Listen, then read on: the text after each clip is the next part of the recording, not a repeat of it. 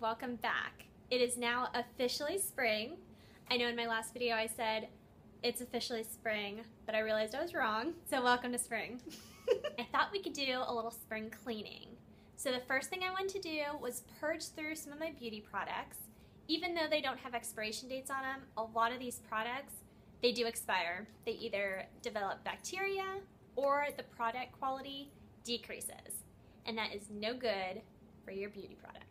The next thing I wanted to do was do a little deep cleaning on some areas in my home. The third thing I wanted to do was quickly go through my clothes closet and just, you know, eliminate all the items that I'm not wearing anymore, that I know I probably haven't worn, you know, this last season or the season before that, and just have a clean sweep for spring. Let's do it.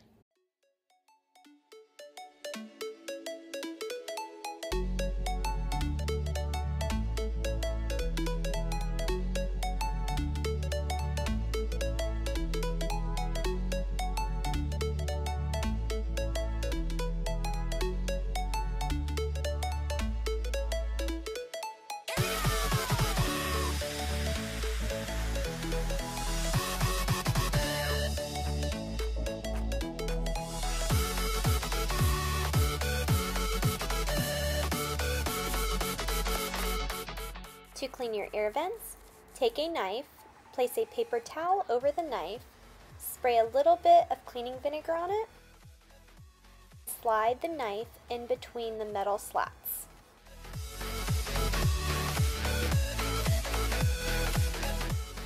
Then wipe the surface down. To clean your microwave, take one and a half cup cleaning vinegar and half a cup of water. Microwave for five minutes.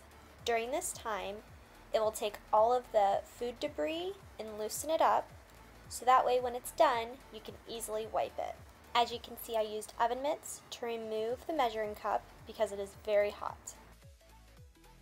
To clean your washer, put your load on the smallest load possible, also on warm water.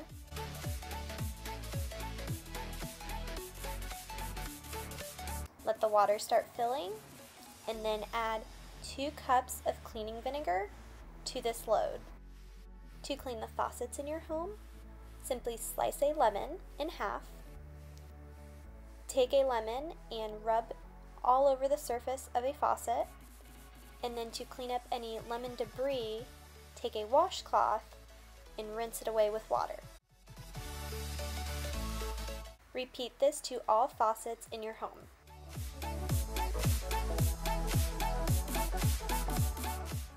Take any clothes you are no longer wearing and donate them. If you enjoyed this video, be sure to give it a thumbs up to support my channel, and be sure to subscribe so you never miss an organizing tip with me again. Thank you!